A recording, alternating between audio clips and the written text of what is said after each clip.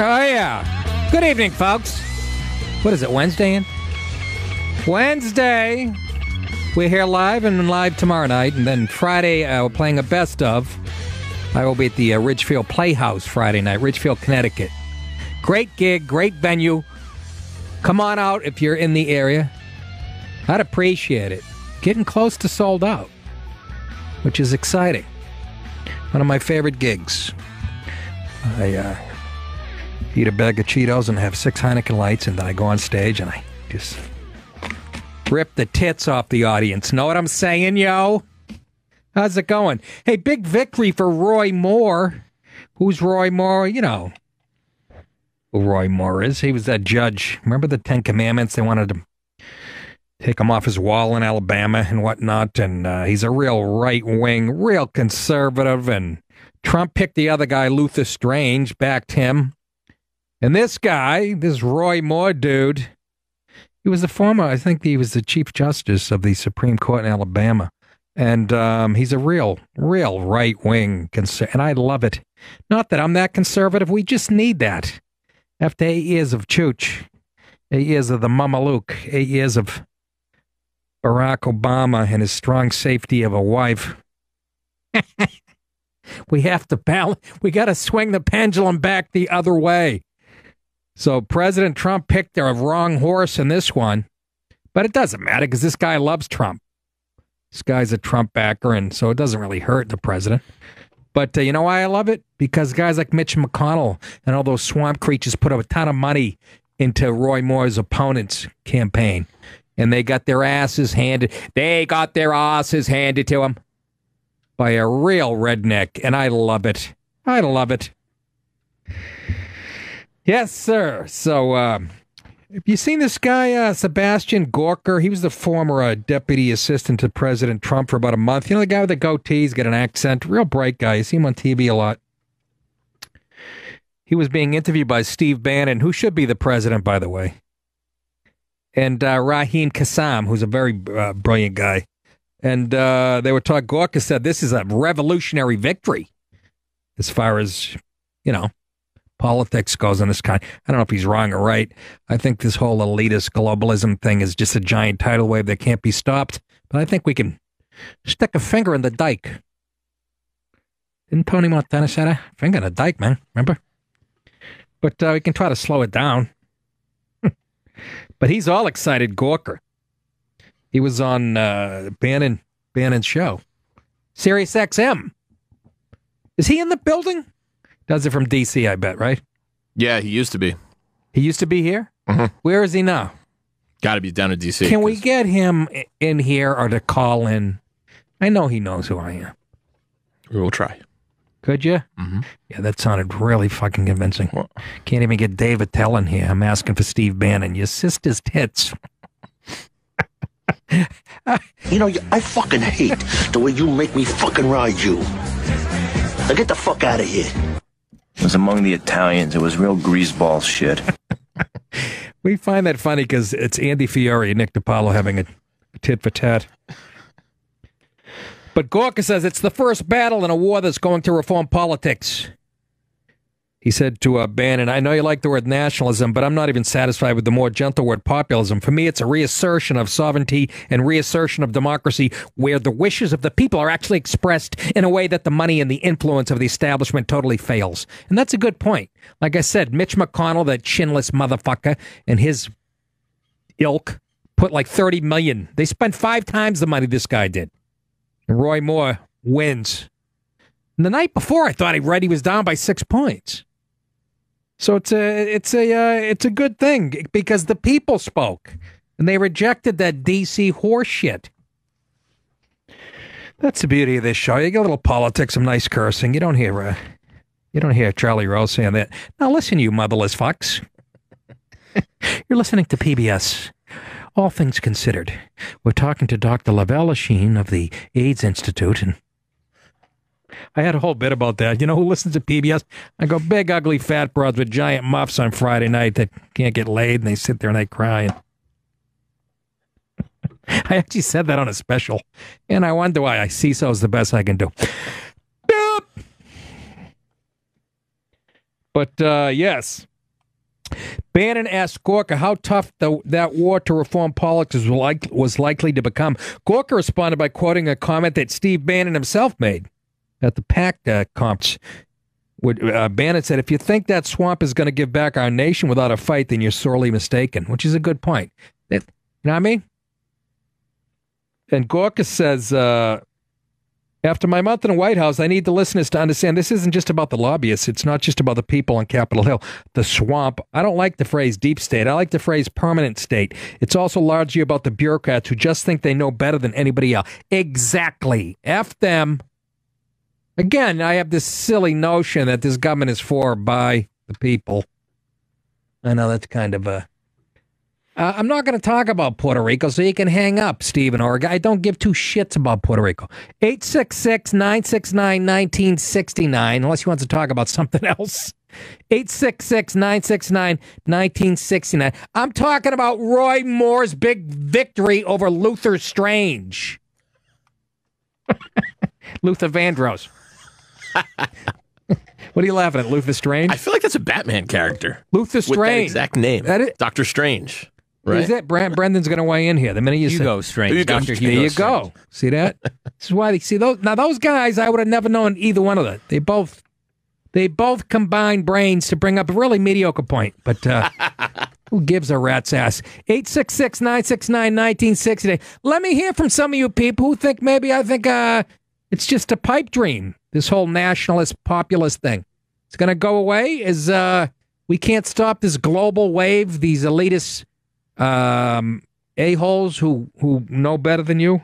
I think it's pretty exciting, and I think the reaction to the NFL protests is another sign that guys like Roy Moore might carry the day. Am I wrong, folks? Apparently, nobody gives a rat's ass. So the phone's on. I can't. I can't talk. I'm tired. I had a tough day today. I ate two ghost peppers and spent the rest of the day on the toilet. you guys know what a ghost pepper is? We'll talk about that. Oh, wait, wait, two. You can't even two. I couldn't. If you touched it Right. with your tongue, you'd be at the hospital. You have to wear gloves. My wife grew fifty of these. I don't know what she's trying to tell me. I ate a couple of Scotch bonnets. I had to have a fire extinguisher shoved in my mouth. What kind of talk is that for a political show? Well, that's the beauty of this show. If you don't like it, you're dead inside. Anyways. So uh, I'm happy about Roy Moore. All I know is he's an Alabaman, and the Aba- Alabama people said, fuck you, Mitch McConnell, Paul Ryan, and all the rest he is. So he's uh he's if he's excited, I'm excited. You know he says? I think the biggest thing of all, Steve, he was talking to Ben, is how everybody saw the primer yesterday as November the eighth happening again. We are sending the same message to Washington, to the swamp, that we are not going to allow them to get away with it. I think it was just that positive attitude. That is the revolutionary event uh, is going to continue. It's not just one race. It's a larger war to cleanse the system. Let's see if uh, let's see if that's true. I personally look. I was voted class pessimist. I see this global wave in the elites, and. I don't know if it's stoppable. You know what I mean?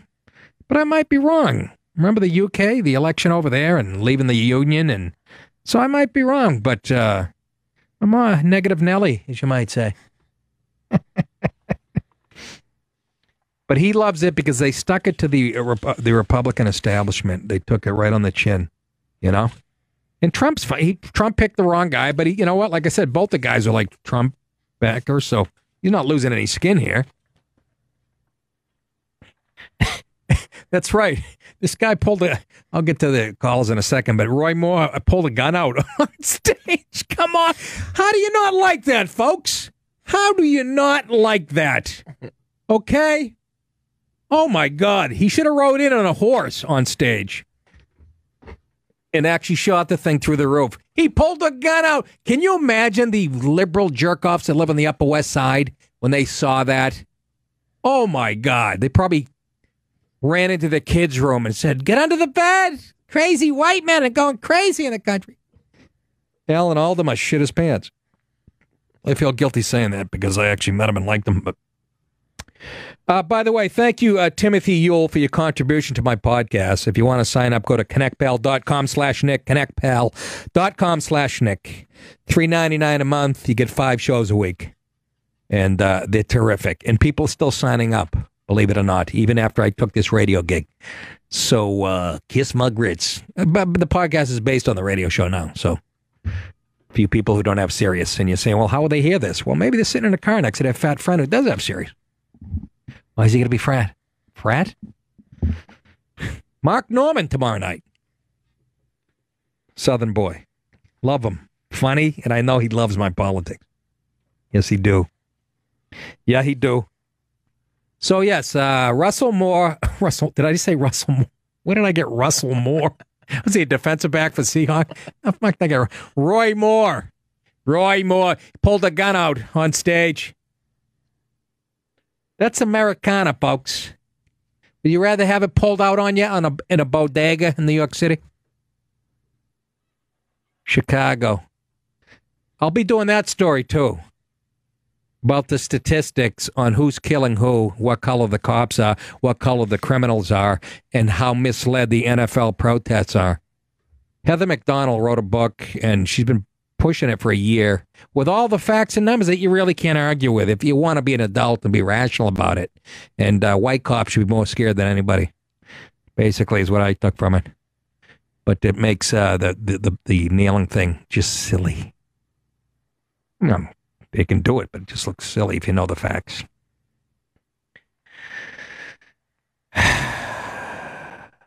Let's go to uh, Nick in Boston. How can I not go to Nick in Boston? I'm Nick from Boston, for the love of Christ. Nick from Boston. Welcome to the show.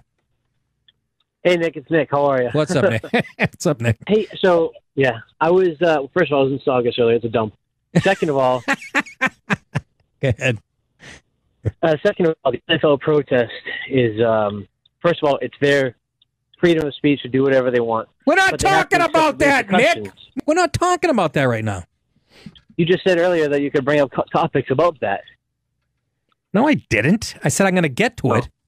But, but, Oh, but what go- time should I call back? you fucking wise ass. How about never? No, go ahead. Say what you're going to say. Go ahead. It's freedom of speech, but they have to accept the repercussions of their actions. That's right. Uh, I no longer watch any NFL games. I don't know about anybody else. Everybody's burning their jerseys. I think they're going to uh, suffer a huge downfall because of this. It may not, the NFL may not go away, whatever, Right. but there, there will be there will be some consequences to these actions. And these overpaid crybabies I- who are protected, that freedom of speech is protected by men in uniform who take offense to this stuff, don't understand what it means to give up everything in your life to fight for your country, and then just get shit on by somebody who wants to. Oh, I want to kneel down. What's Colin Kaepernick? Who's he playing for right now? I, I, I couldn't remember. He showed his true. He showed his true colors when, when, when he, he did that, and then when people started to show interest in him again, like Pete Carroll took a look at him, and then they interviewed him. He said, "I'm not gonna. I won't be doing that anymore. Taking it." So he he showed his true colors, Kaepernick. Um, and and and, and this turned it, this turned into a uh, an anti-Trump protest. These fucking guys, they have the brothers on the sideline. They don't even know why they're locking arms or kneeling down. And it, you know, if they don't, they're going to be called an Uncle Tom and shit. And yes, there are a few whiteys that had to go along with it, but uh, They're looking. They're looking for a reason to like Kathy Griffin. She was looking for a way to make herself more famous because she was dying. You know, her her career is in the tank. yeah. She was looking for a way to get in the limelight again, and that's all these NFL players are doing. So just stop going to the games. Stop going and putting money in Robert Kraft's, Kraft's pocket, and you know, spending fifteen dollars for a beer at Stadium. Yeah, well, we'll see. We'll see. I mean, their ratings are down 11%, and I, I tend to agree with you. And I was talking about this Roy Moore winning down in Alabama, and it sort of relates to this. It's sort of backing the people have had enough of this anti American horseshit. And there's a segment of this population that just hates this fucking country, and they call fucking white leave- liberals leave. and a big, a large swath of black people. What? Then then leave. There's no reason for them to stay here. There's if socialism's so great, why don't they check out Venezuela? They don't want to leave, Nick, because then they'll be a victim of this country's foreign policy. Oh yeah, yeah, All right, Nick, thanks. yeah. All right. Take it easy. You're welcome. He goes, Saugus is a shithole. ah, it made me laugh. It's not far from Regra. My old girlfriend uh, lived in Saugus. And I remember. do you really? Is that after you quit banging boys? Oh, for the love of Christ! Let's go to Steve in Louisiana. He likes Roy Roy Moore's style. Steve, what did you think of him pulling out that? Uh, what did he pull out, by the way? I think it was some little uh, like a 38 special. You look like 38. Nothing, nothing too crazy. I love how it was just a third, but you gotta love. I, I I love the. Come on, it's America. Yeah, I mean, my thought is, well, every liberal I know stops reading the Constitution after like one. They just went, oh, you can do whatever you want. You can be in the middle of open heart surgery, but you got to pray to Mecca. The poor son of a bitch dies on the table. We're like, oh, well, no, he had to exercise his, his religious rights. Right. But you know, when you have a gun to blow away these jerk offs that are out here robbing everybody, they're like, "Whoa, we need." I think the guns are the problem. yeah. It's like, Yeah. They're, they're really wrong in everything, Steve. When you think about it, it's backwards. It feels that way. They they really Really are. They're that way. fucking wrong about race. They're wrong about taxes. They're wrong about pretty much fucking everything. About uh, you know, bathrooms and they they they just fucking. I really do believe. I, I used to laugh when people said oh, liberalism was a mental illness. I'm really starting to believe that. They they need to be loved. They need to be. Hey, look, I'm morally superior. Uh, they need to be fucking loved when they should be hated. Eh, love you, Nick. All right, Stevie boy. Thanks for the call. See you. Roy Moore. he had the Ten Commandments. Remember they wanted him to take him out of his courtroom or whatever, and he said, "Kiss my grits." Right? Is that right, Brendan? I always, anytime I'm doing a story south of the Mason Dixon, I always look over to. Not even Kentucky's not even that south, is it? It's right fucking next to Cincinnati, which is. I always, yeah, Kentucky. You always in way to, you know. Russell in Houston. What's going on, Russell? You have a quote? Hey, Nick. What did Steve? Thank you, brother. Uh, I saw uh, Steve Bannon. I agree with you. Steve Bannon should be our president. I, I love him. I do too. But um, Steve Bannon had an interesting quote today, kind of almost like feuding with Trump. He said, "I'm now six and zero winning these special elections, while Trump is five and one." I thought that was kind of kind of interesting thing for him to say. Who, who said that? Bannon? that. Bannon? Yeah, Bannon said that. It was either last night or this morning. I read it in the paper. Yeah, but you know what? I you know what I do like Russell. I mean, I was sad to see Bannon go, but he can do like he said, he can do more damage outside the White House. You know? Yeah, I mean he's extremely effective wherever you put him. It seems like. yeah, exactly. I gotta believe Yeah. he's uh, he's a very bright guy, and I would have loved to have him. Um, but he's smart. You know, I think uh, the constraints of being the president and uh, having to represent everybody, kind of. Uh, but uh, I think he's more dangerous now that they cut him loose. So, um, you know. All all righty. Thank you, Russell. yeah, thanks. Have a good one. You got it. Mike in Ohio, what's going on, Mike? Hey, Nick, I just wanted to comment. Um, you know, remember a few years back, um, we sort of saw this resentment against the, the ruling class at Occupy Wall Street. And where did that go, right? You know, sort of flamed out. And, you know, you look at Trump, who he put around him, you know, uh, Goldman Sachs executives, Wall Street CEOs. Yeah. Yeah, I, I just see it flaming out. You know, I, I, I think the the fire's there, but you know, it's just going to burn out in the end. You think so? You think the establishment establishment is going to win out? Absolutely. Um, I mean, you just got to look at who Trump surrounds himself with. You know, he, he talked a, a smart game, and people, you know, responded. You know that he pulled the upset over Hillary, but Yeah. you look at who the guy surrounds himself with, and it's the same old, right? Uh, yes and no, but uh, you know, uh, look, he, he, I, I look at uh, the fact that he hooked up with Bannon to get elected. So, um, but yeah, no, I, I get your point. It, it- it's definitely going to be. It's, uh, but I think you know this this Roy Moore thing was, uh, you know, kind of a, a, a bright spot that we're not completely dead. You know, Yeah. But uh, well, Oh, absolutely. yeah, I was uh, I was a little I, I, I was a little uh, surprised myself. So uh, we, we shall see. But the Mitch McConnells, Mike, don't you agree? The Mitch McConnells of the world, don't they have to go the fuck away? Oh God, Mitch McConnell. I mean, talking about dating out of your class. Uh, how'd that guy get that wife, right? I know. What is what's he, is that? Wait a minute. Is his is it the Asian? Yeah, yeah, yeah, Elaine Chao. Yeah, Uh, Elaine Chao. Yeah, what? Secretary of Transportation. Yeah, I would I'd pay. some drinks on. She said, "I I like a man with no chin and giant fucking glasses." All right. I like a, that's actually a funny joke because she's Asian. I throw a chin in there. What? All right, Mike. Thanks. Take care. So Mike says, uh, sort of feels like me. The establishment is, a, you know, it's a title, but you know what? It's got to start somewhere. And a guy pulling a gun out on stage, I kind of like that. I think he's serious. Let's go to Kent in South Carolina. What's up, Kent? Hey, what's up, Nick?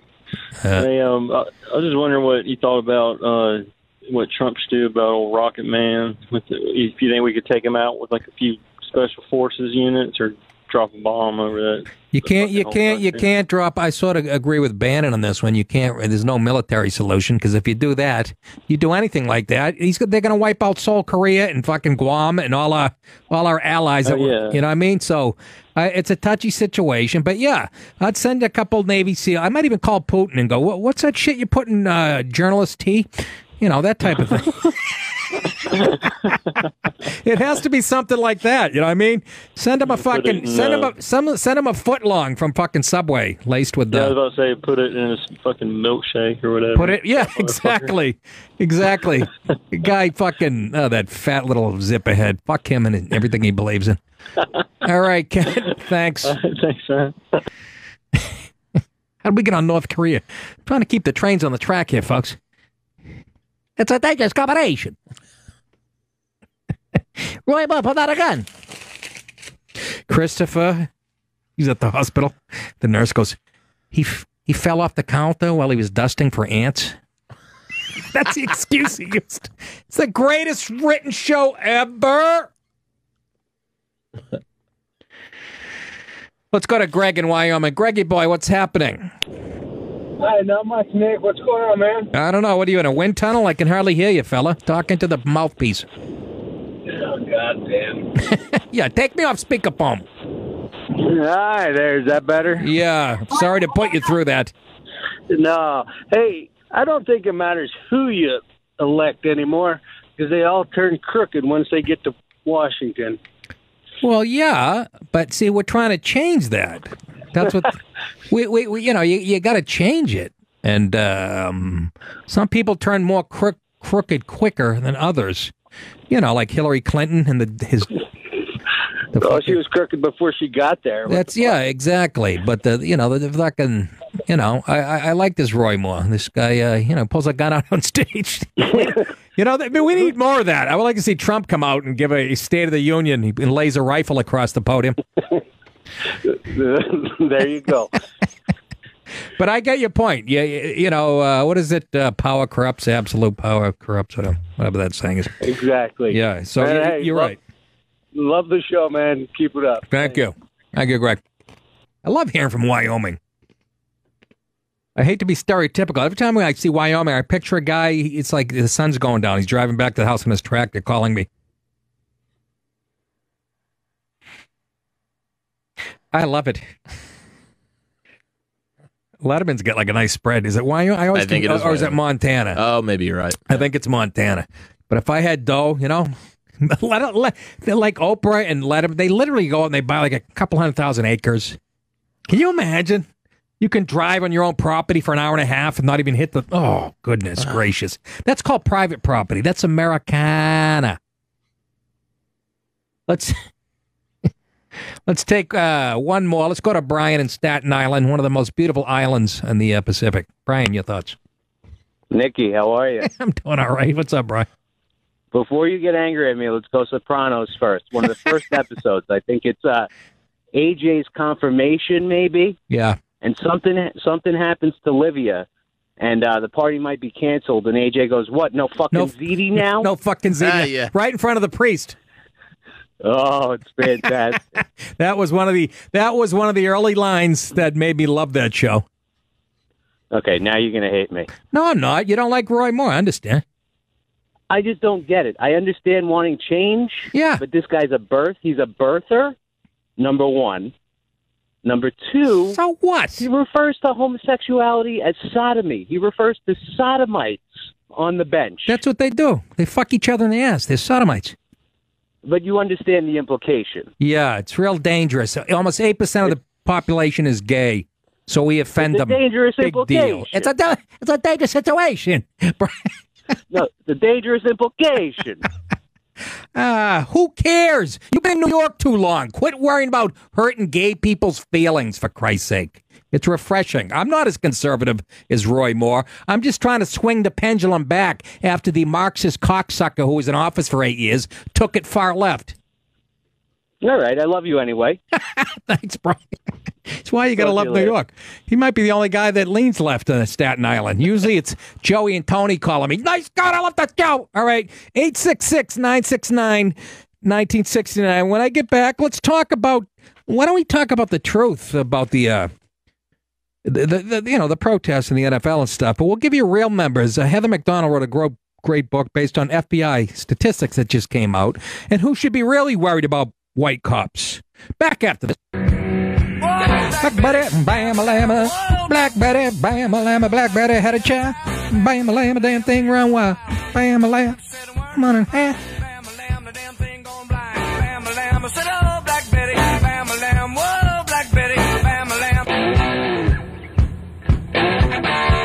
Welcome back. Segment two. On a Wednesday, folks, 866 969 1969. Hit a number. Tomorrow night, Mark Normand joins us. One of my favorite comics. Smart, funny, Louisiana boy.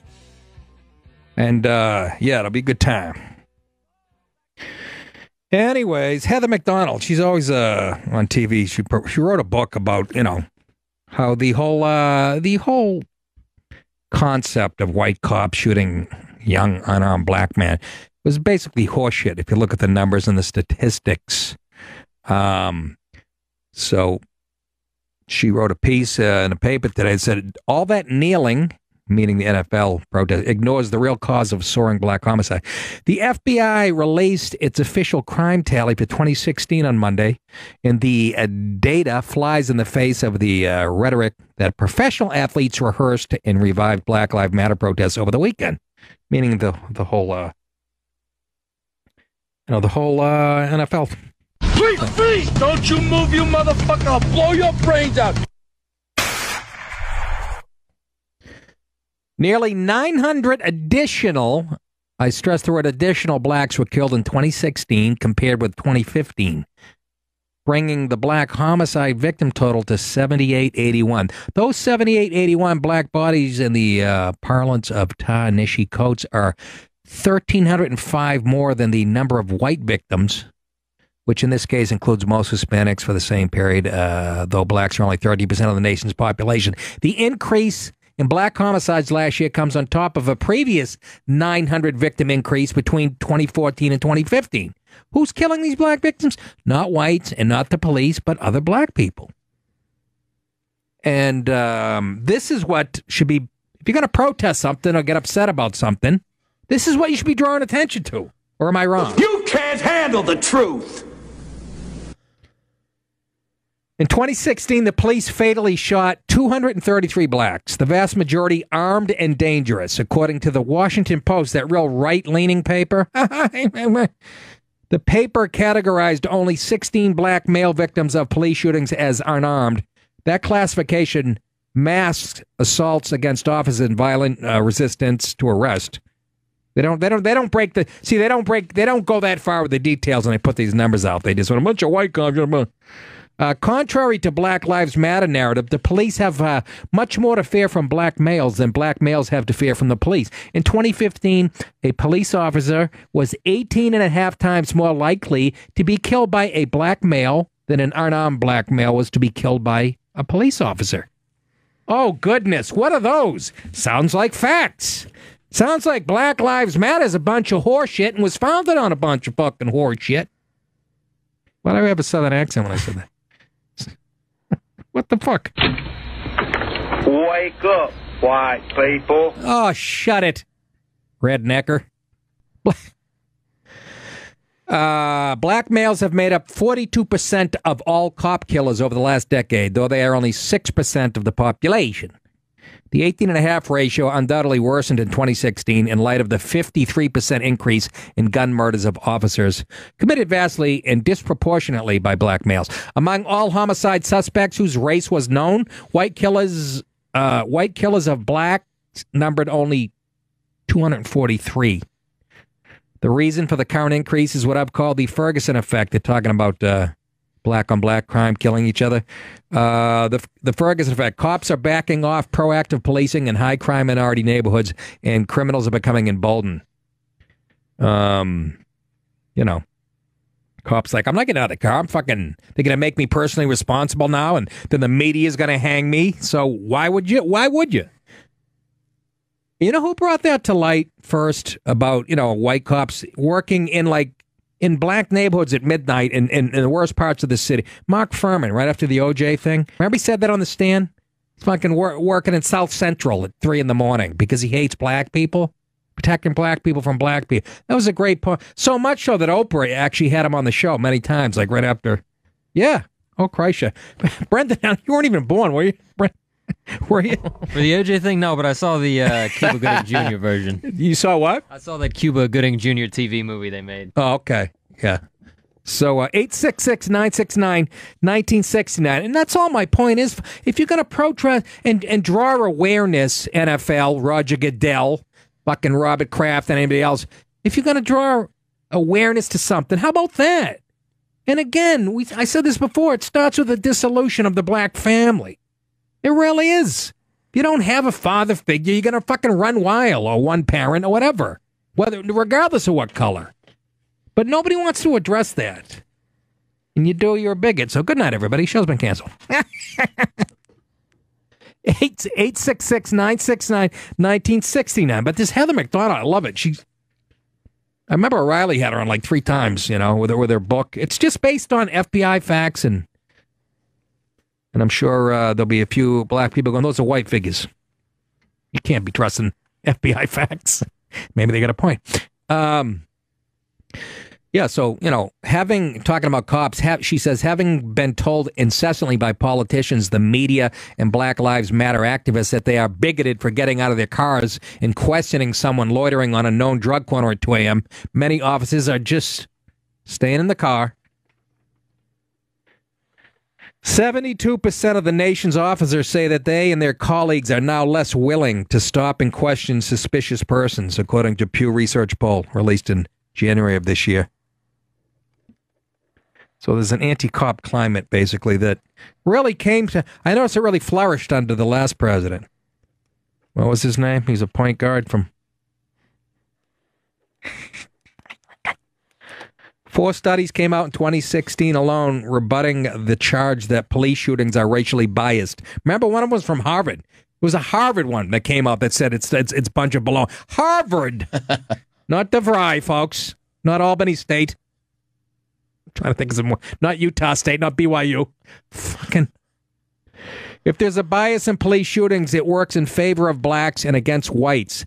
That truth has not stopped the ongoing demonization of the police, including now by many of the country's ignorant professional athletes, which they are. Dumber than a bag of hammers. I love them. I, I love the NFL. I love the 866 969 1969. These are the facts, folks. So you can kneel all you want. And again, I've been saying it's a ruse. It's a fucking con game. The Al Sharptons of the world and the Jesse Jacksons have been perpetuating it, and any other white liberal Frank Riches of the world, the fucking Adam's Apple on MSNBC. How about they Brian Williams? They do they they when MSNBC shows a commercial and and they're touting their lineup. Imagine put having the gall to show Brian Williams' face. Fucking liar. Can you imagine? By the way, Hannity crushed her. Crushed her little penis into a fine powder. Sean Hannity did at nine o'clock.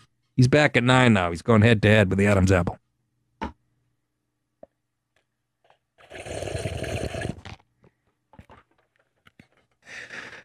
Eight six six nine six nine nineteen sixty nine. Anybody got an opinion? Are you afraid to weigh in about the real truth about cop shootings and again the real tragedy is the uh, black on black crime. I mean, little kids in Chicago, and it's just horrific. You read this stuff, It's horrific. That's the, that's what they should be drawing attention to. They don't even bring it up though. They don't even bring it up because there's so much political capital to be gained by labeling Trump a white supremacist, and it's been working for so long. Yes, there are some shitty cops out there. We all know that. There's about eight out of eight thousand.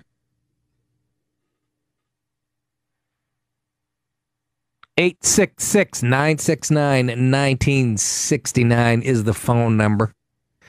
Let's go to our friend uh, Sal in Staten Island. Sal, what's up?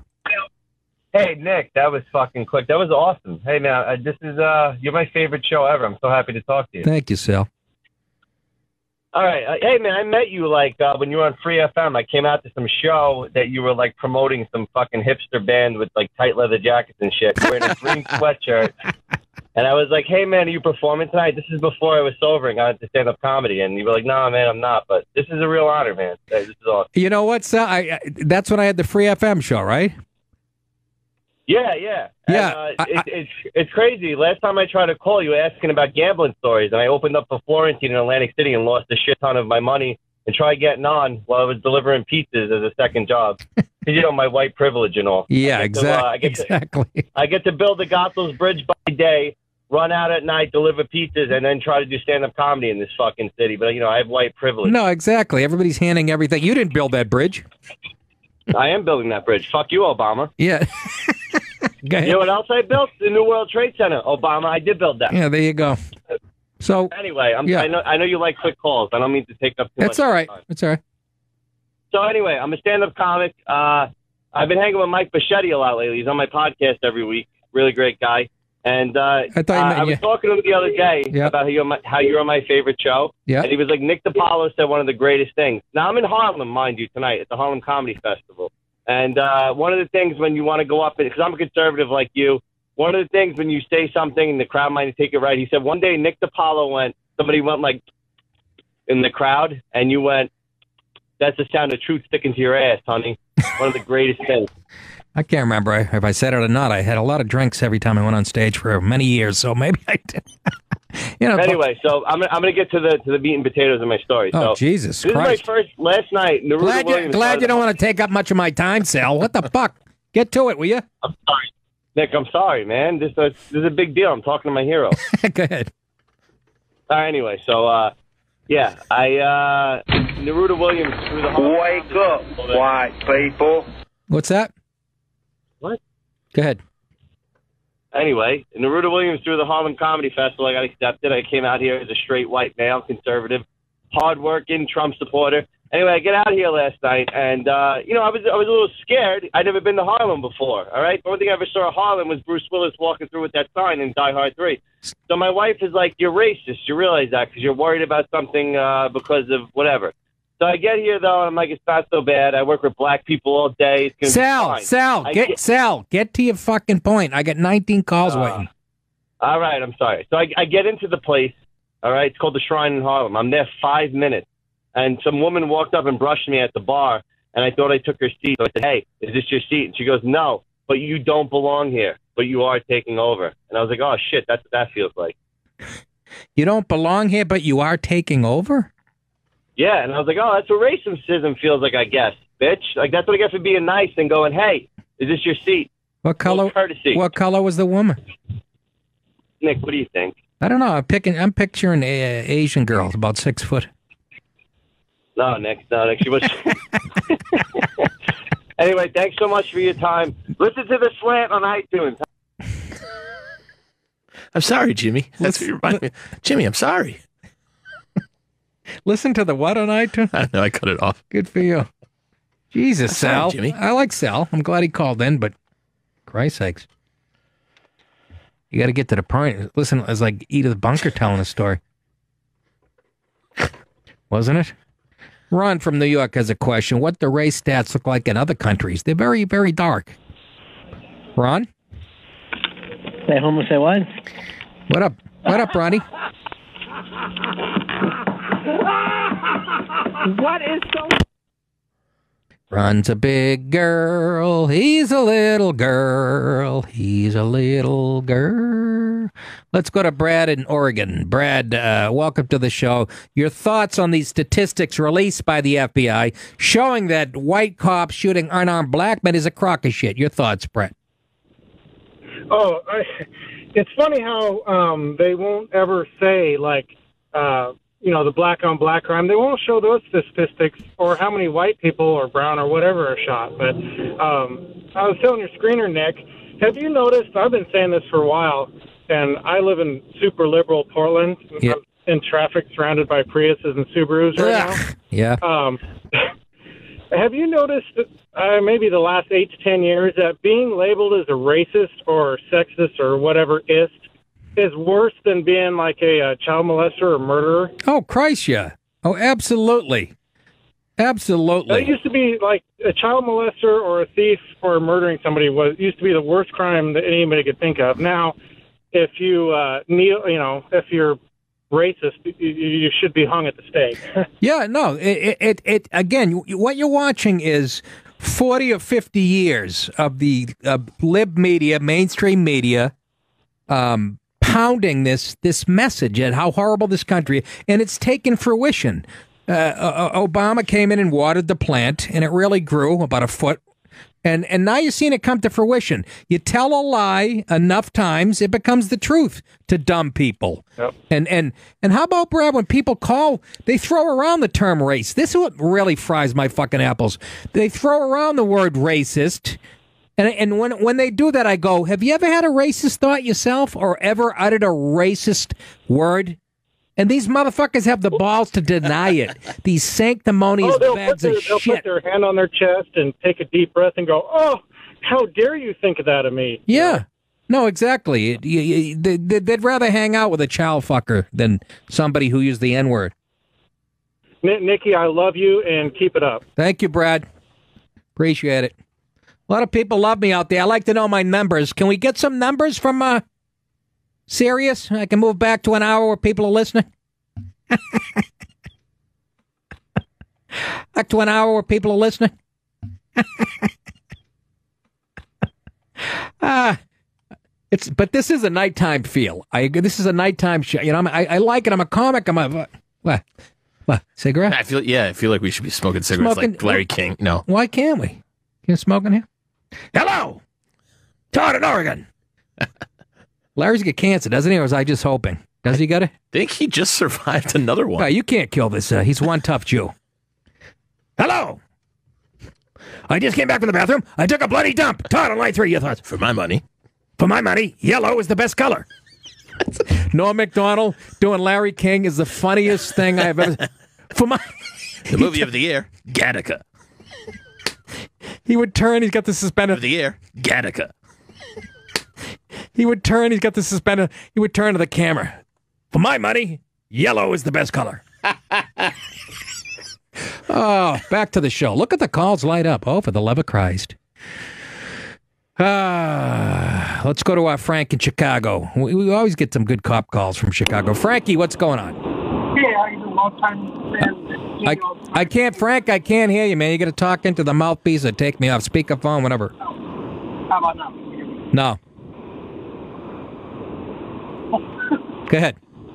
Okay, uh, long time fan. I've seen you every time you came to Zanies and Rosemont. Uh, the Black Lives Matter uh, made a lot of police and you talk a lot. Frank, Frank, I'm sorry. We got a bad connection here. We, we can't hear anything. Sorry, Brad. And- I know who he is. I think he, he, he saw me in Rosemont. I think he's an actual cop. If you um maybe uh, go to a payphone on the corner of Fight the Power and Die Whitey Avenue, and that was one of my first jokes when I moved to New York. I go, people are complaining about the rents, how high the rents. are.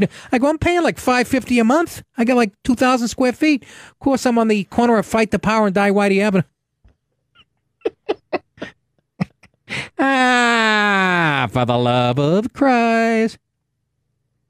Billy in South Carolina, welcome to the show, Bill. Your thoughts on uh, Heather Mac Donald's statistics from the FBI proving that uh, this whole thing, this whole this whole notion, and not completely, but uh, really blown out of proportion as far as you know, hands up, don't shoot, and and white cops just massacring young black guys. I mean, if you look at the numbers, it's it's just not true. Your thoughts?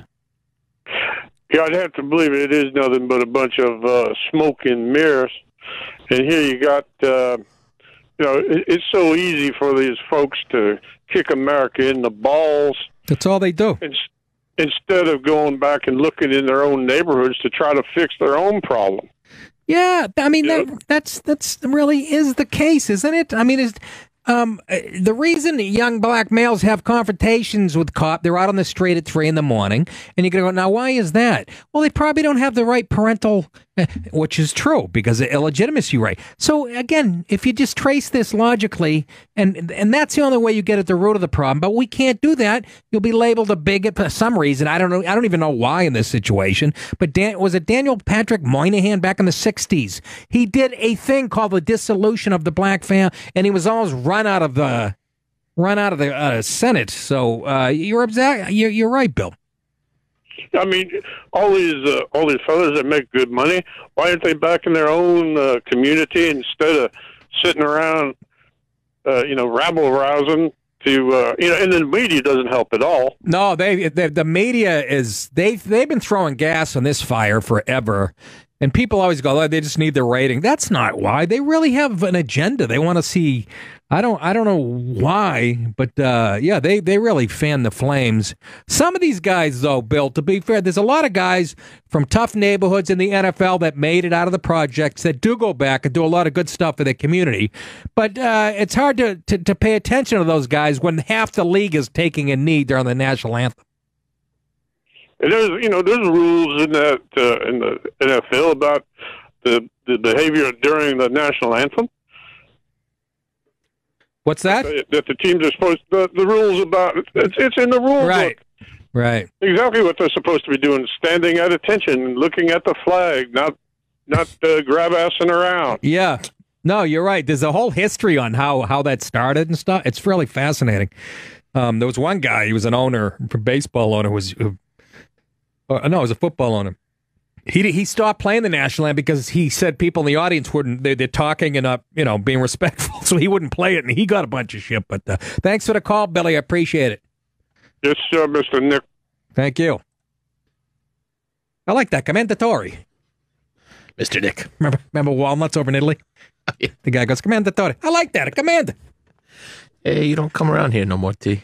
Hey T, I'm gonna hoof it back to the Excelsior. I gotta take a wicked shit. like a 12 year old boy. Oh, God. Mark in San Diego. What's up, Mark? A regular on the show, I believe. What's up, Nick? How you doing, man? Pretty good. All right. Hey, you're a little more well versed on this stuff than me. Why is it that the uh, media as a whole, you know, doesn't push front page, you know, 300 murders over the weekend here? How come you got to read a little blurb about it? What's what's the end game for it? Why aren't the religious leaders, these pseudo pastors and preachers, aren't out there condemning the black on black violence, but they jump all over, you know, one in every, you know, thousand cop shootings. Yeah, Black guy. What- yeah. what's the end game? Well, the uh, the narrative. I, I I don't know whose agenda it is. I asked this to the guy that runs um. What the? He's always on Fox. What the hell? He's got a red beard. The Media Research Center. It's like a watchdog group that keeps an eye on like left wing bias. I my question mark was how did the how did the libs get a hold of? Why do they control the media in the first place? But I don't know what the end game is. You're right. I guess you do sell papers or whatever. Um, uh, that's part of it. But but it's been going on for so long. It it, it seems like they want us at each other's throats, and um, you know, a, a distraction. Yeah, Brent Bozell is the guy. Um, Brent Bozell is the guy that uh, he's an American conservative writer and. He founded Media Research Center. I actually interviewed him. I was hosting Dennis Miller show. I can't. I don't even remember the answer when I said, "Why does the media skew a liberal in the first place?" I can't even remember. He gave me about a ninety-minute answer, and I I retained nothing of it. But uh, I, go ahead, Mark. then- Go ahead. And then also, Nick, not to get all Catholic on you, but what, what about the numbers? What, what about the numbers of all the mass abortions, you know, in those parts of the country too, man? I mean, come on, they're killing. Ah, Yeah, no, I know. It's uh, not even touched that. Yeah, no, I know. It's uh, but I, you know, I fly thirty weeks a year, so I don't care how many babies die. Um, hey, one more thing. I swear kidding. my girl's my my girl's gonna come across my jaw if I ever say situation again. I love hearing a guy from. All right, Mark. Thanks, buddy. Take it easy. Uh, for the love of Pete. One minute left. Well, take let's ta- we'll take one more. Jeff in Buffalo. Hey, how you doing? Jeff, uh, Jeff. go ahead. All right. Well, um, the cop shootings, like, as long as, as long as you listen to the cops, there's no reason why you should get shot at all.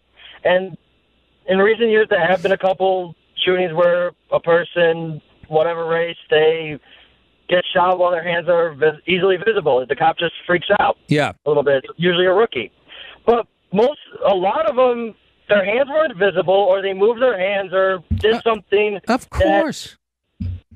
Absolutely. like, it, yeah, because the cop's not going to wait for you to. Oh, you, I'm just blowing out my wallet. They're not going to wait to see if it is actually a wallet. They're going to protect themselves and the people around. That's yeah. their job. Well, exactly, There's- Jeff. But but now you're putting things into context and you're painting a real picture. We can't have that in the media. We just have to keep reinforcing the idea that this uh, this United States is the most racist country, and uh, if you're a young black male, you're in danger when you leave your house, which is such fucking horseshit. It's so racist, this country. There's millions of black and brown people trying to sneak in every day for the last I don't know how many years. Nobody can seem to refute that one. But uh, thanks for the call. I got to take a break. Uh, we'll come back. There's a lot, a lot more calls on this. Uh, we'll talk about Heather Mac Donald. uh, Did they even mention the book in the article? The name of the what the hell is it? Can you Google that for me? Find out what Heather Mac Donald's book is. Uh, she was he's been pushing it for a while. It came out like a year ago, but she uh, uh, from the City Journal, where Heather Mac Donald's contributing editor. Uh, find out what her book is, and uh, I'll come back and uh, we'll take more calls. 866 969 1969. Sit tight, kids. Currently talking about uh, Heather Mac Donald. Uh, she has a book by this called "The War on Cops: How the New Attack on Law and Order Makes Everyone Less Safe." Came out in June of 2016. You can get it for like what six bucks now? Six, nine bucks on. But all based on all statistics, hard facts that you might want to bring up when you're arguing with your nitwit friends who are still upset about the thick ankle dog face losing the election. Please, please, don't you move, you motherfucker. I'll blow your brains out. That's my dad. When I try to sneak in the house in high school. You the time I came home drunk? I mean, with about, you know, I'm talking, I'm talking you're in shape, you're a junior in high school, sophomore. You drink two six packs, and I come home, I'm like, ugh. Parents are in bed. I'm going to watch, uh, I'm going to watch the uh, Tonight Show monologue with Johnny Carson. Ooh, is that an Elio's pizza? I'll put that in the, uh, I'll put that in the toaster oven, which I did. I'll go downstairs, watch a monologue, and I'll come up and the, the pizza will be done. Cut to my father shaking me, me opening my eyes. It's daylight out. He's holding the Elio's pizza. It's the size of a wallet. It's pitch black with smoke coming off it. And he literally's got me by the throat. I almost burnt the fucking house to the ground. Still got my coat on.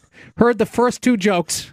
Heard the first two jokes and passed out. I wake up. Is that not the scariest? Your dad's in your face. Your coat is still on. I didn't even get that far one time. I turned on the oven, passed out. Just had the oven on all night long. Same thing. 450 degrees. I didn't put it in. Yeah, but that's an oven.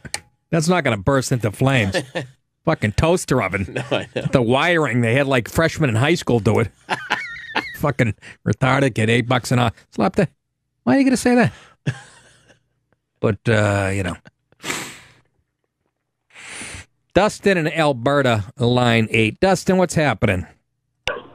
Hey, Nick, how's it going today? Good. How are you doing, sir? Oh, I'm doing pretty good. I was just thinking to myself, all those facts and that information being in a book is not going to reach the right people. Oh, that sounds kind of racist.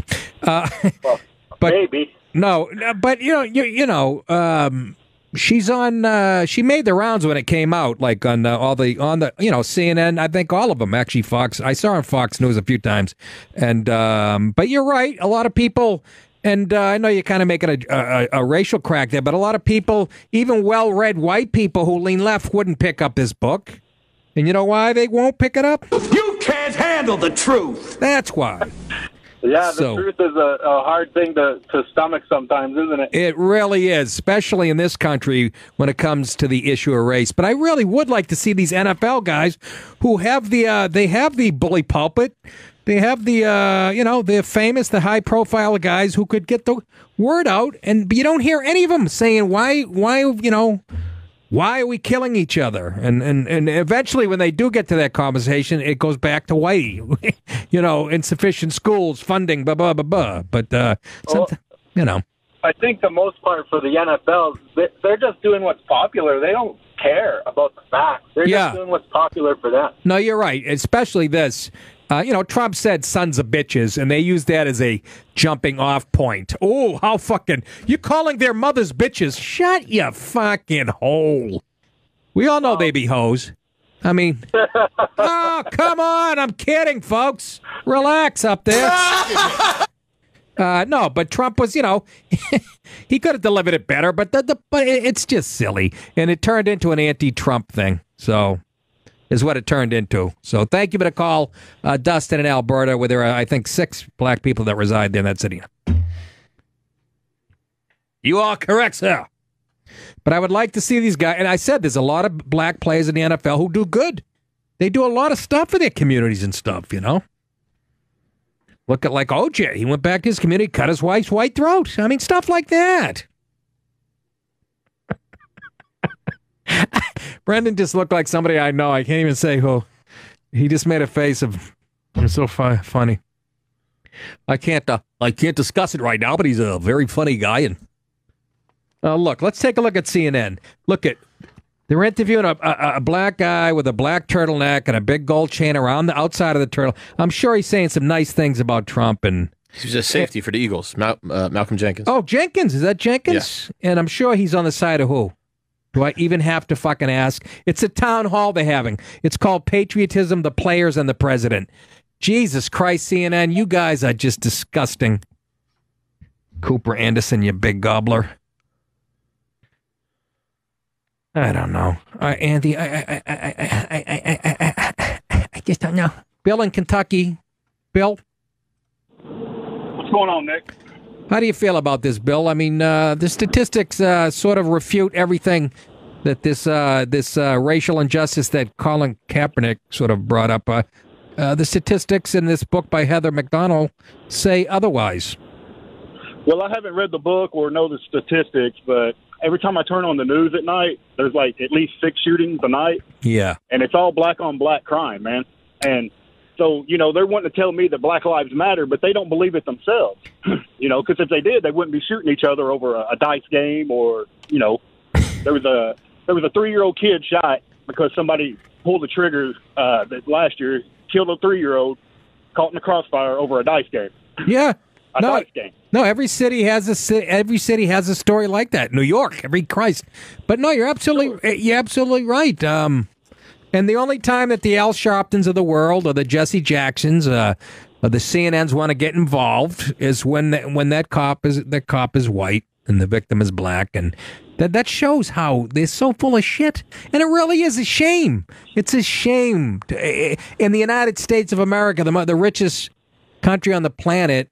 Um, uh, but w- haven't we exhausted all other arguments? So isn't it time for them to look within? When I say them, I mean the libs who, you know, the Rahm Emanuels of the world who, uh, you know, right? Absolutely, man. I mean, I couldn't agree with you more. But I mean, you know, there's there's no there's no uh, there's no foundation. There's no pride. You know, they they always talk about respect, respect, but they don't even have respect for each other. But they want somebody else to respect them. you know? Right. And I'm a Marine, and uh, you know, respect is not given; it's earned. That's right. So Absolutely right, Bill. my that's my soapbox. man. All right. Thank you. Have a good one, Nick. Thanks Love for your show. service. It's true. Nobody wants to see this happen to any community. It's fucking sad. Little girls on a bus, all of a sudden a bullet comes. I mean, the ignorant level. The, the, the killing in Chicago that's been going on for the last couple of years rivals anything that goes on like in, in Kabul, these Middle Eastern towns. It's unbelievable. And somebody, uh, you know, because the, it's not at the hands of a white cop. Leonard in Georgia, our friend Leonard. Leonard, what's going on? Hey, brother Nick, you've been talking some good stuff this evening. You're doing great on your show. I want to give you a perspective, uh, secondhand perspective. My my brother is uh, an officer in Georgia, Okay. and he I can't say what agency, but he can chase you anywhere he wants to in that whole state. Now, the way he handles the situation is just like the other callers was talking about, just using common sense. And he'll shoot you. He don't care what color you are, and he'll also treat you with respect. He don't care what color you are, but it Right. all boils down. It boils down to the way that you handle the situation, which we already know that. However, I say that to bring this point up. Leonard? What the statistics? Hello, Go ahead. I'm here. There was a pause. I believe no matter what the stats are, um, don't bother them with the truth. Don't bother them with the facts. They have their narrative. They'll stick to it.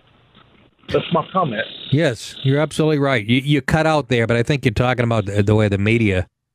Um, Yeah. Yeah, they cherry pick, and they've been doing this, like I said, since I was in my 20s. They cherry pick the stories that fit their narrative. And it really, even when I, I like before I got political or followed any of this stuff, I, I realized that that was dangerous. And I used to look at my buddies and go, "You gonna tell me some white kid wasn't shot tonight by a black uh, or what?" And, and and I'm like, Jesus, they're gonna create, and and it, it it's been growing exponentially, and it's coming to fruition now. People have bought into it, so hopefully, you know, Oh, yeah. you know, hopefully it'll change. I don't know what's going to change it though. Thanks, Leonard, for the call. I appreciate it. Thank you, brother. It really is. Uh, it's um, an abomination. Abomination in a country like this to have kids being. And again, I'll say it again and again. It's it starts with mommy and daddy. You got to have a mommy and a dad. Oh, that's old fashioned horseshit. Oh, right. Look at the statistics. Got to have, especially a dad. You got to have a dad figure who's going to crack you in the face when you score a touchdown and you grab your crotch in youth football. Somebody's got to go, look, fella. Don't do that.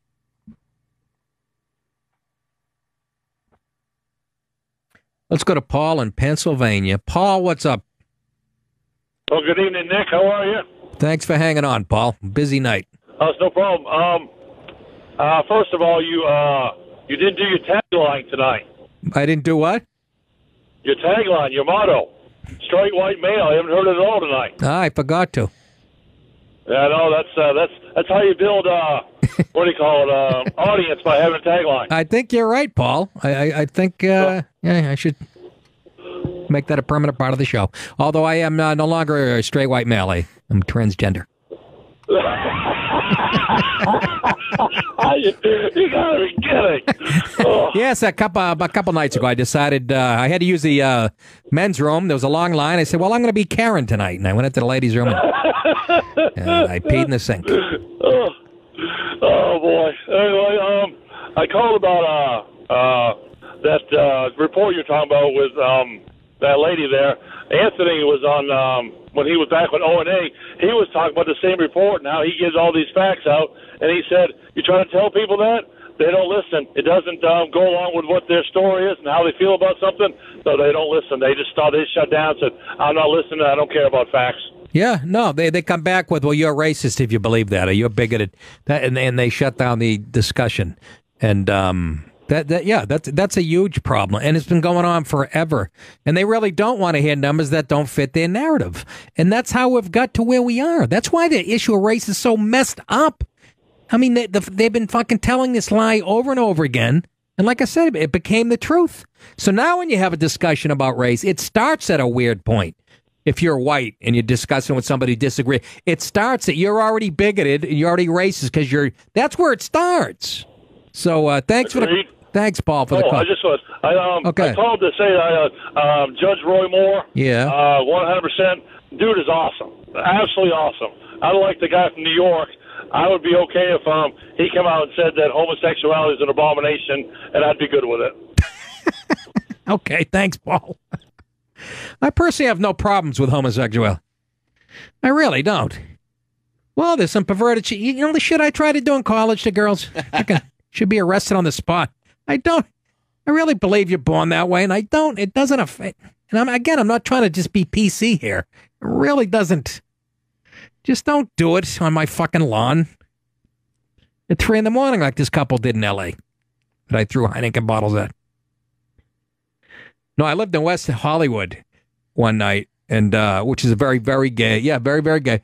And um, me and my girlfriend in bed, and all of a sudden, this is like two in the morning. Okay, I have I live on the first floor. I have glass sliding doors on the first. There's an alley behind my building with glass sliding doors that open a. It's perfect for something to break into my apartment.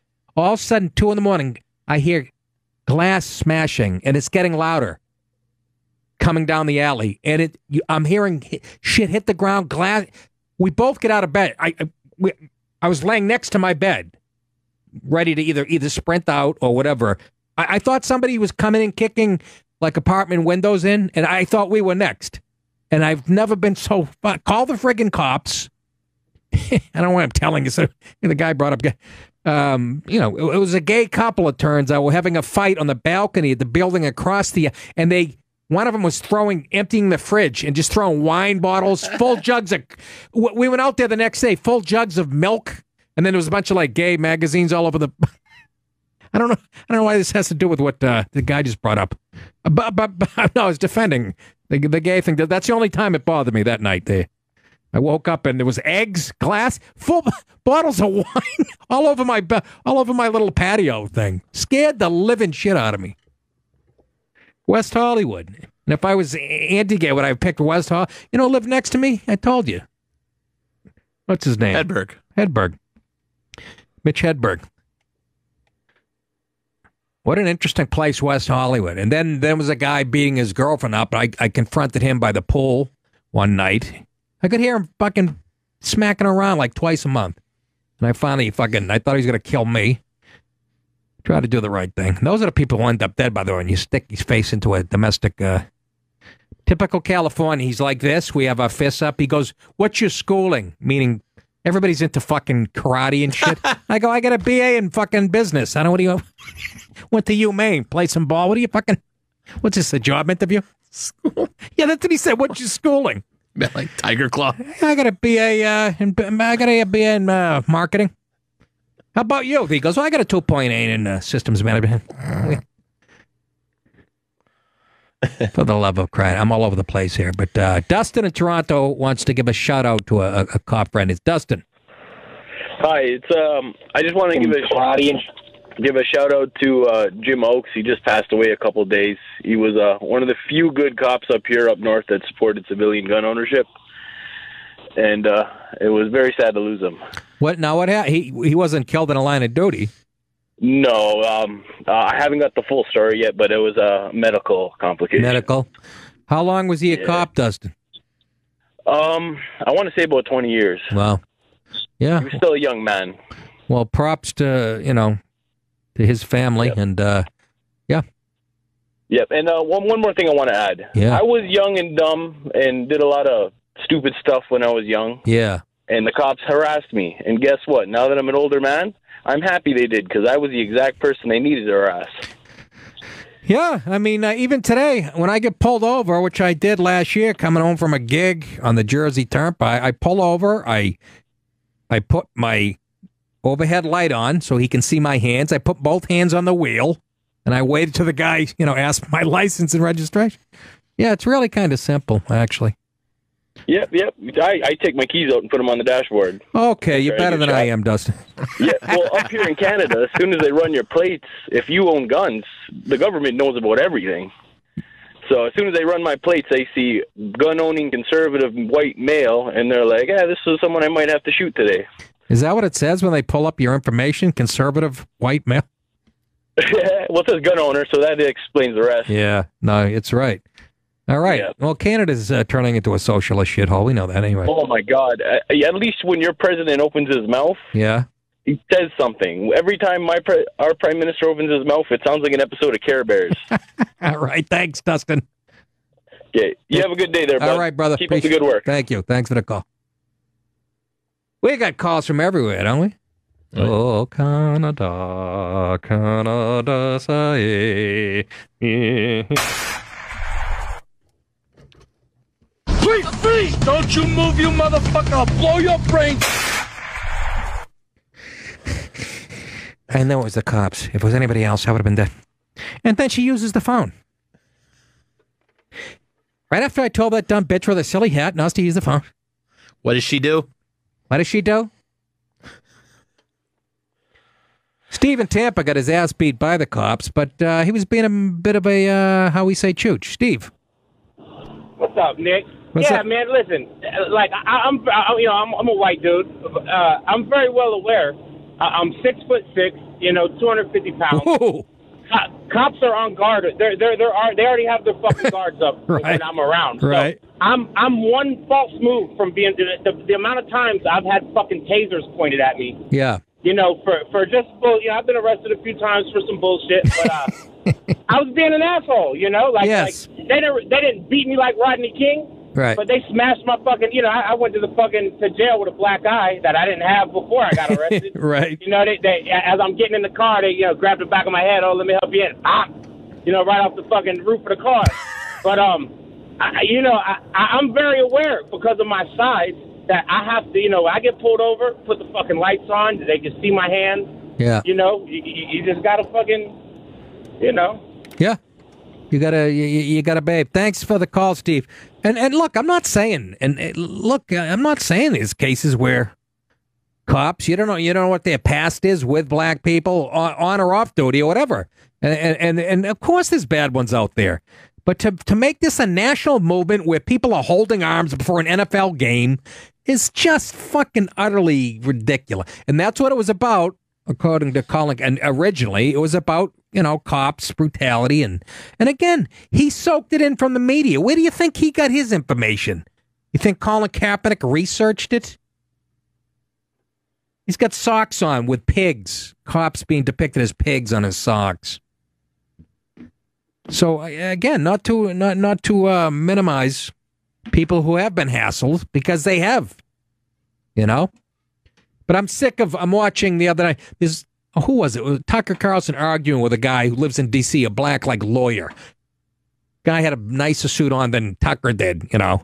Oh, I've been pulled over. You don't know what it's. He kept using. You don't know what it's like to be black. You can't relate because you're not black. That's the other argument. It's like you know, oh, you're from a different planet. I got whacked in the back of the legs with a billy club at a bachelor party. A brawl broke out at the uh, Golden Banana when I was in high school, the strip club in my town. The Golden Banana, it's still there. And a big, we were, it wasn't even, we weren't involved. We were just watching. And a cop, I guess I got too close to the fight. It looked like I was, and he, right, the, yeah, but right behind the knee with a club. Oof. I didn't argue or anything. I went, ah, I'm gonna, I got out of the way. Standing there watching a fight with a hard on I got from the club. Brought a stripper home with one hand from that club. That's a true story. She was hiding it with her veils on stage. You get home, she's missing like half her hand. Come on. I'm telling you the truth. Absolutely. Stunning face. Fucking missing. Yeah, sure. I don't, Huh? doesn't bother me. I didn't. ca- I didn't care. Yeah, why not? So let me see that stump. Put some know, lube. yeah. Put some lube on it. I put some lube on the stump. Then I had to reach into my uh, kitchen sink. I dropped a there was an onion block on the. Uh, I use it as a plunger. I dropped a tennis ball down a toilet. Back back after this. You're listening to the Nick DiPaolo Show on Faction Talk, Sirius XM 103.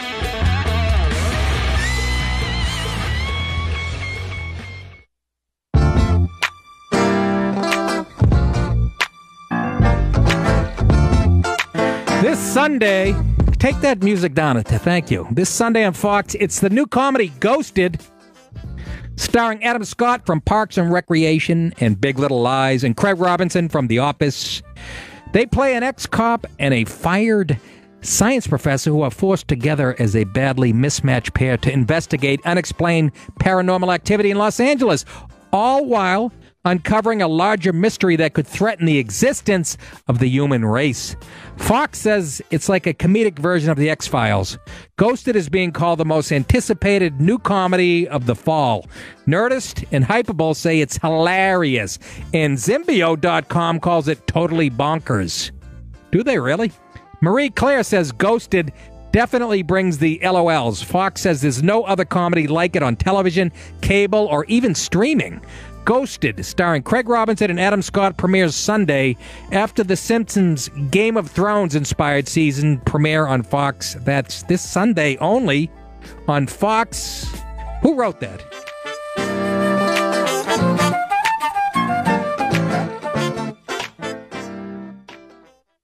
Here's what you missed on Covino and Rich. By the way, Spy, you look up boobies, they're fucking amazing. They're b- birds with blue feet. I love boobies. More impressive? Oh, boobies are so great. More impressive than uh, more impressive than Oh my some God. real boobies. Oh, I'm not even kidding you. Unless it- boobies, unless it's boobies really- are amazing. Unless, I fucking unless, love boobies. unless it's a perfect set of boobs. Look at that. I rather look at photos blue-footed of, of blue-footed boobies. Unbelievably amazing. Covino and Rich. Weekdays at 11 a.m. Eastern, 8 a.m. Pacific on Faction Talk 103.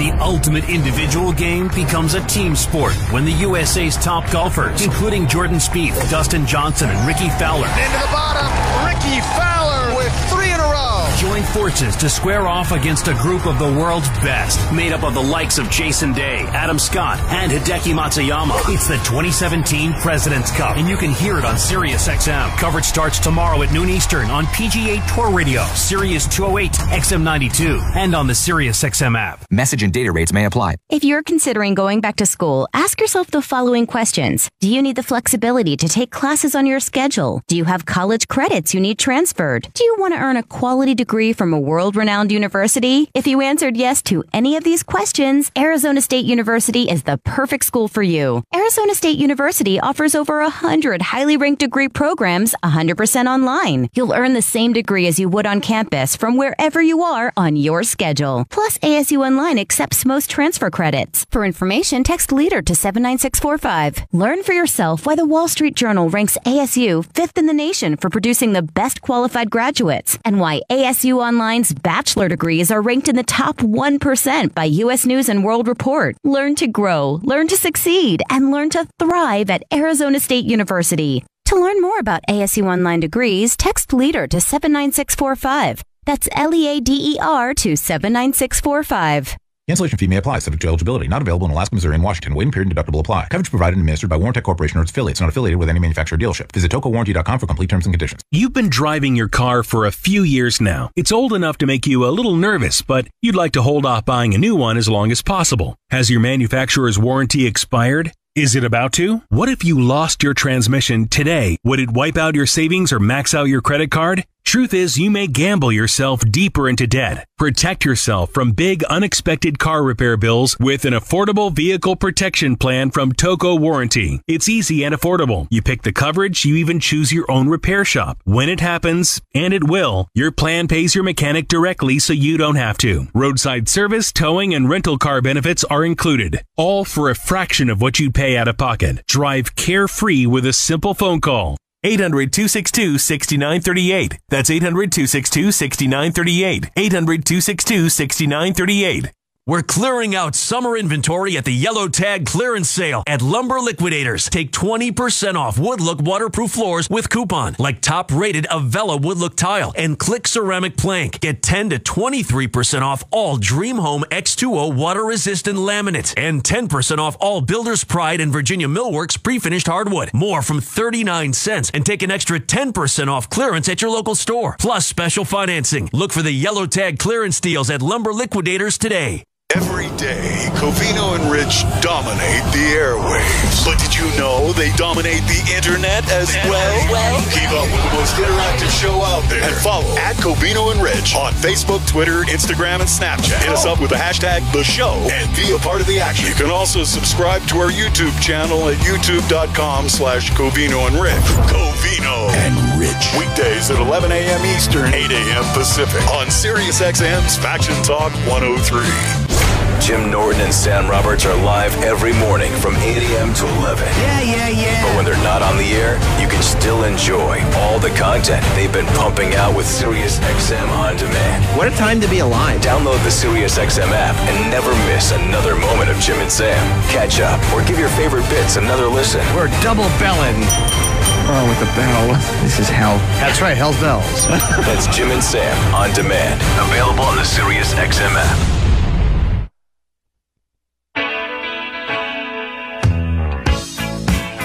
Got press in pocket.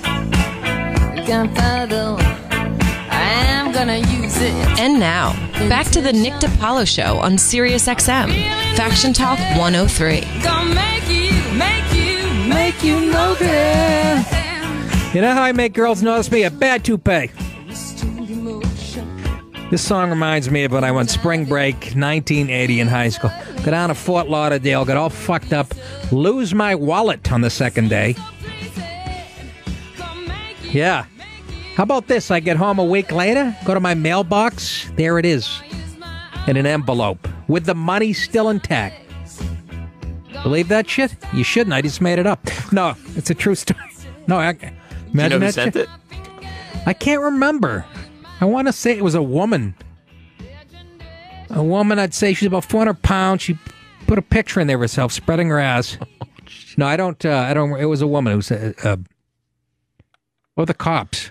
They turned it into the cops. Day. I can't remember, but there it was. Didn't even take money off of postage. Gave me a lot of. um I mean, It was uh, uplifting, you know. I was like, ah, I feel more upbeat about humanity, and you know, and then about, let's say, I put on CNN that night, and they just ruined everything. Wolf Blitzer was 11 then. Still had the beard though. In dog years. In dog year. And Mamaluke years. Hey, did you guys hear about the uh, Yankees uh, fan? What, what, what, what you can? We're, we're done with the uh, the race talk. I'm tired. I'm tired. A guy got ejected from Yankee Stadium last night for sign stealing. Not doing it the high tech way like the Sox did with their Apple watches. Uh, the fan uh, was ejected from Yankee Stadium for yelling out information on pitch location to the Yankees' Gary Sanchez while he was hitting in the eighth inning. The fan was apparently watching the Rays catcher, uh, you know, Tampa catcher, shift his body to set a target for the next pitch and then yelling out what, had, what he had just observed. I'm loving this. Uh, but after the fan's booming voice was heard by Sanchez, the Rays catcher, Wilson Ramos, and the home plate umpire, Dan Bellino, he was pointed out to stadium security, the fan was, and removed from the stadium. The fan has not been identified. A lot of people thought it was Bernie Sanders. He's setting up outside. He's setting up inside. He's throwing the ball on the inside of the plate. Move over. Um, yeah, he was pointed out uh, by state and removed from this. The, so Ramos, the catcher, confirmed that the fans' observations were accurate. that was not professional, he said. Since when does a fan have to act professional? He told the AP after Tuesday's game. If you come to the game, you're asked to enjoy the game. Everybody's supposed to see the ball and just react with pitches. So to me, it's like cheating. Um. So I I don't know. I don't know where I stand on this one. Like I said to you, Andy, if I went there tonight and just started yelling shit out, like the, just to fuck with the, if I went, yeah, he's setting up outside, and just making it up, even you know, w- would they ask you ask me to leave? I think so. Why? I don't know. It seems a slippery slope. What else could you do to? To get ejected? Yeah. Oh, no, I mean, no, I mean, as far as helping the team. Yeah. Well, what what other things can you do? I, yeah, it's from the fan point of view. I don't think there's too much. Is is this the first time that anybody's ever tried to? That's hilarious. No, I think back in the 50s is in San Francisco was famous for that. Or maybe not San Francisco yet, New York Giants, where they had somebody in the outfield. That's where it all started. Somebody in the stands would, with binoculars, would read the catches. Yeah, but it wasn't a fan, right? It was a, it was somebody related to the stands, yeah, organization. I don't know. This I might be the first time. I don't know. I just first of all, was it being was it even affect you know, was it was the guy affecting the game? either way. Like Sanchez says, it doesn't matter because you don't know if it's a slider or a fastball coming. And we already talked about this a couple weeks ago. A lot of play when when the Red Sox were stealing signs. A lot of uh, hitters say, "I don't want to know what's coming. I want to react to it, even if they tell you it's going to be a curve." You know. Yeah, a lot of times it's not. You can't trust anybody in the audience. You, know, you can't trust somebody. In that guy's got ten beers in him. He's setting up outside. So so you you hang out over the plate and you get drilled in the head because the guy had twenty Heinekens. He's setting up inside. Guy seeing double. Uh, Kurt in Kentucky says he got a new treatment for my sore my sore knees. Go ahead, Kurt. What's up, man? What up, brother? Uh, sitting up here in freaking St. Louis trying to get my trailer unloaded. Okay. Uh, hey, have you done the jail injections yet?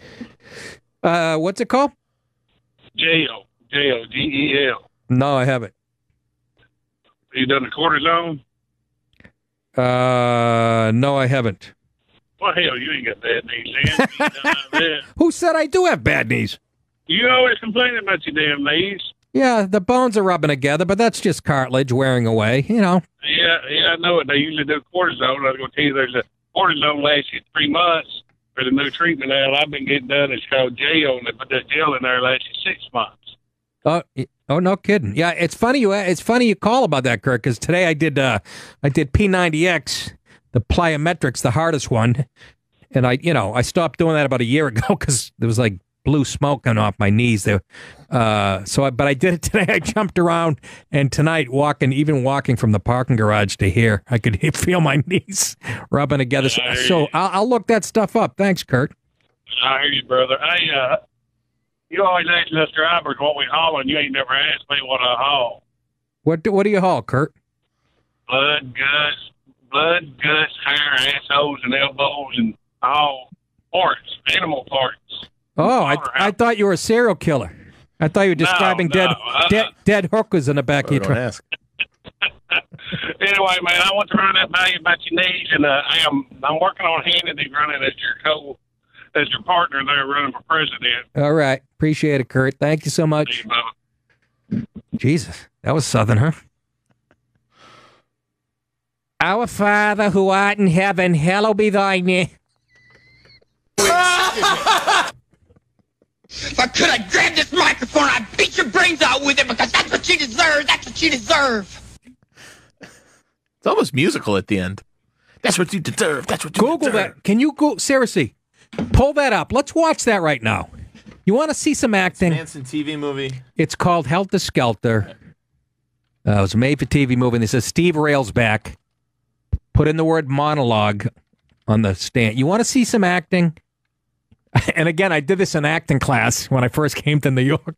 You would have loved it, man. You would have. Picture an Italian, but a Fucal looking like a guy doing Manson. I could have my own. I could have my own ranch on the Italian version. That's the, that's the party platform today. it's the music telling you. How good an acting job was that? Yeah. Unbelievable. Gives me chills, man. And I like looking over at you mouthing the words. Oh, I could have done the whole thing. It's burned into my brain because I, I studied for like two weeks. My teacher stopped me at one point because you're hyperventilating when he was doing this. It's your children. And- but that made me want to act. That that that I watched that movie like they you know reran it. It it's it's Helter Skelter, and and the guy that played Vincent Bugliosi was so good too. And uh, but that's Steve Railsback. I don't even know if he's still alive. I always confuse him with the guy that was in um, Midnight Express. Was that him too? That was somebody else. Is Railsback still alive? Still alive. 71 years old. Holy moly. What a nice juicy roll though, huh? Man, did he nail that. Then I saw him on Full House playing a sushi chef. you want a California roll? Well, it's coming right at you. the, this sashimi. They come at you with knives. Pretty good, huh? Not bad. Yeah. That's a good movie if you have a chance. Watch that. I think it was called Helter Skelter, Yeah. wasn't it? Yeah. It was uh, not long after that all that shit went down. Anyways. Those Manson family girls. Oh, I know. Lookers. I know. When, when when they show them that monologue and they cut to the girls, it's like doing an open mic. It's like being in the creek and cave. Three chicks up front. Uh, I want to meet Andy Fiore. He's funny. Dave and Sa- Dave in Santa Monica. What's up, Dave? Hey, uh, Nick, uh, I heard that you took acting lessons from an acting coach who taught a lot of other comics. Is that Ye- true? Uh, yes, actually, uh, a woman named Joanna Beckson, uh, here in New York, taught, who, who taught a lot of, co- but also a guy, uh, Aaron Sp- Aaron Speiser. uh, out when I was out in L.A. Matter of fact, he lives in Santa Monica, Dave. Really? Yeah. Aaron Speiser. Yeah, um, he was good. He was from uh, from New York originally, and uh, he had one of the funniest lines. I did a scene in his class. I was supposed to be shaving my ex girlfriend's legs. That's that was the scene we're getting back together. It was one of the Fly Girls from In Living Color. The, the, the black girl, real good looking, and I'm supposed to be shaving her legs, and it, but it's supposed to be sensual. The scene, kind of sensual, and he goes, "Stop, stop!" He goes, "Nick, what the fuck?" He goes, "It looks like," he goes, "There's no sensuality there." He goes, "What are you, what are you preparing her for knee surgery?" Which was one of the best lines ever.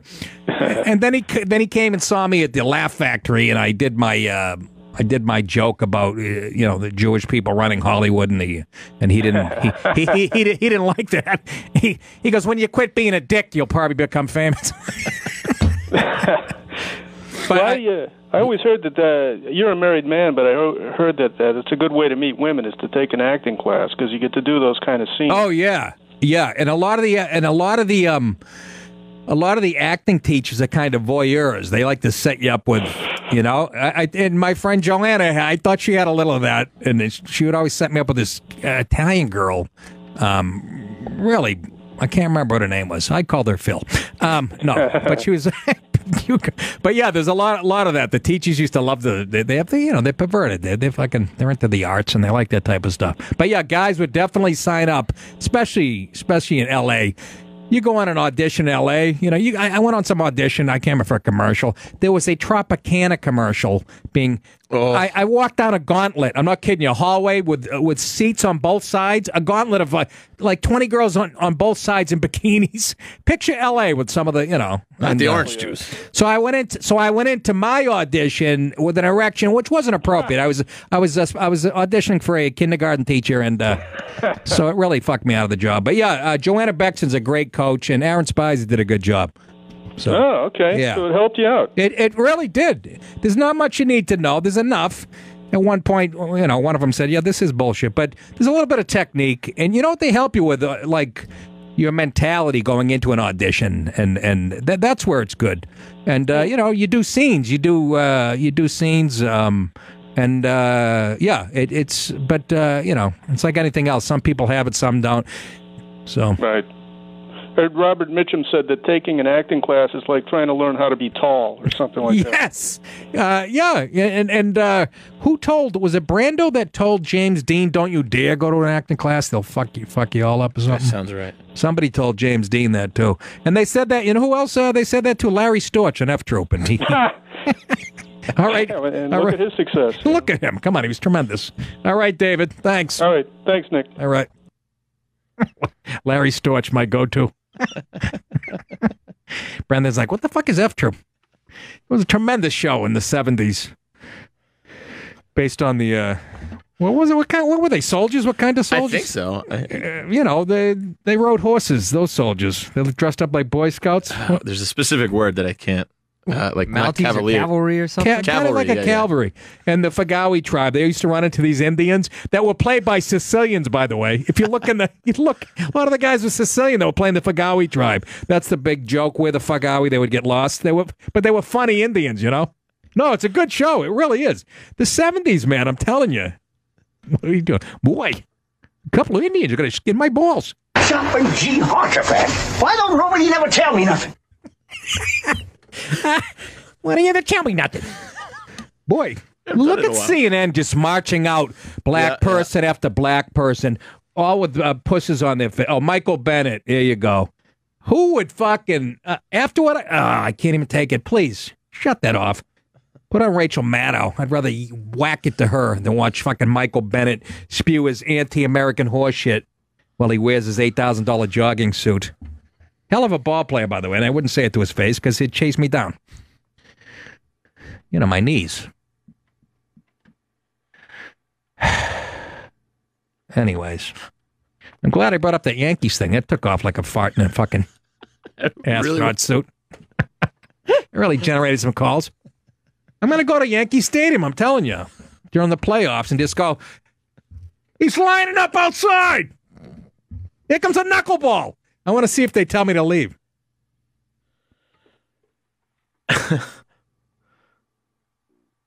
Ooh, my stomach. Anybody else get the shit from eating salmon? I don't need it. You don't like salmon? No. I like it. It grew on me. I didn't like it at first. Yeah, I don't but uh, I always, I don't know what it is. It's very rich, and uh, every time I get it, uh, my stomach, it sounds like I have a fetus in there trying to get out, like Charlie Manson wants to. Mark in New Hampshire. Mark, he's got a wallet story. Go ahead, Mark. Uh, well, first of all, it's uh, uh, Forrest Tucker, right, was in the F Troop, and he was supposed to be packing. I figure you'd like that information, seeing that you've joined the Gay Liberation Front on us. Oh, that's anyway, right. No, yeah, I remember that rumor. He Yeah, a- yeah, yeah. You, you, Hey, um, hey, don't cut me. say? Oh. Hey, shut up. I'm talking. Yeah, yes, sir, Mister Nick Dip. Fucking. I haven't talked to you since you switched time, so go right oh, ahead. Oh no, go ahead, Mark. Go ahead. I was going to say the uh, the Dark Side of the Diamond, right? It's a book about all the old baseball players. Yeah. And when you were talking about the balls hitting people in the head, Yeah. this guy clocks this lady. So they're taking her out on a stretcher, and they restart the game. Yeah. He clocks another one and hits her again on the on the uh, stretcher. But anyway, when you said the golden banana, right? Me Yes. and my buddy Johnny, and we're going up to get a quick beer, and you hear correct. Ooh, we turn and it clocks my buddy right square in that. You could see the threads on his forehead. I said, Johnny, we can go to the hospital or we can go to the combat zone. In the combat zone, I lose my wallet and I get it mailed back from the combat zone. Are you kidding me? I am not kidding. It was right after the, that Italian kid, the football player, got murdered down there. Oh yeah, yeah. Yeah, yeah. So the the Brian guy Piccolo. calls me and he goes, he says, uh, yeah, you know, yeah. I said, well, how much money? He said, oh, it was over three. I said, well, keep half of it. And they'll, sure enough, it came back with half the money. I couldn't believe it. But anyways, you forgot to tell who the uh, the point guard, Obama, what university he played for. Um, You I don't? think. uh, motherfucker, you. All right, Oh, all right, uh, Maggie. what was the other- Okay, buddy. Thanks. Bye. See you later. I love New England, huh? Motherfucker. Combat. Combat zone. I lost my wallet. I was getting a hand job. The combat zone was right across from Nick's. Jay Leno used to. Jay Leno opened for like a stripper in the combat zone, and he get he always tells combat zone stories. And uh, I told him my my my buddy broke me out of hospital before I had my shoulder surgery. I had my gown under my winter coat. We went to combat zone, and I was finger popping some dancer after I bought an eleven dollar fucking sprite. And on the way home, I started to touch my face. He goes, "Don't touch your face." it's twelve degrees out. I got my hand out the. I got the window down. I'm, I'm, I'm gonna have surgery the next morning. It's 11 degrees, the wind blowing. I got my hand out the window trying to freeze the germs off. You go, don't touch your. I go. I was like, I'm a young kid. I was like, fucking, what was I, 18? I was still in high school. still in high school, and I still remember the stripper. She was like, uh, um, you know what, uh, Latino, and I thought she was old. You know, looking back on it, she was she was probably 28. I'm, I'm 18. She was an old lady. I bought a Tequila Sunrise is what I bought. Yeah, it's eleven dollars. I'm like, what? Eleven dollars? My buddy paid for it. and here's my buddy watching me. He's sitting at the bar. He's watching out of the corner of his eye. He's trying not to make it look obvious. Oh my god! And then we go back to the hospital. Real tight security. We say hi to the guy. I come in. My gown's hang out of my. What's that smell? yeah, exactly. Well, they have me out. The doctors go. Well, I'm unconscious. Hey, you're in the right place. The combat zone. Yeah, Leno always told stories about the combat zone. Right across from Nick. Of course, it's all gentrified now. But um, I love that the guy got his wallet mailed back. But um, yeah. Let's like uh, Billy from LA, our last call of the evening, as we're about to wrap up the show. Hi, Bill. Hey, hello, Mr. Di Paolo. How are you doing tonight? Good, thank you. Uh, still maintain Nick and Larry 2020. Larry the caller, Larry? Oh, yeah, I love that guy. He's something else, isn't he? Absolutely. Yeah. Hey, I just want to thank you for allowing me to use your airwaves to uh, promote a nonprofit organization I'm working with called Limbitless Solutions.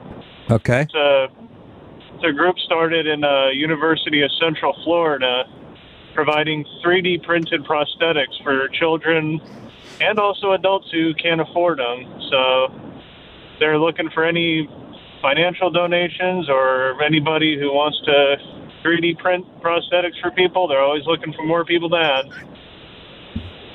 Well, I'm glad you got that to get the you know get the plug-in. Sounds like a good thing. I've I've been doing it. My printer's been running nonstop for a past month now. And you're helping these kids out with uh, no limbs. Trying my best is what I can with what I got. Well, good for you, Bill. I appreciate that. All right. Thank you, Nick. You got it. All right. So- good night. All right. So if anybody out there can, you know, mail an elbow or a foot. No, that was actually pretty good. No. What are you laughing at? The minute he brought it up, Fiore goes into. Fiore has a problem with handicapped kids and shit. Well, you sent me that picture twice today. We, you know, the kid with the Shriner Center, the little kid with the Jay Leno face. Send money to people like us, so people like you. Which I love that little kid. He's a great spokesman, and, and Fiore just finds it so goddamn funny. He's kind of, kind of mean. Anyways, that's it. Thank you guys, all the callers tonight. Mark Normand tomorrow night. Come see me this Friday night at the Ridgefield Playhouse in Ridgefield, Connecticut. October 6th and 7th, Levity Live, West Nyack, New York. October 21, the Westport Inn, Westport, Connecticut. That is it. Nice job, fellas. We'll talk to you soon. Wash those filthy asses.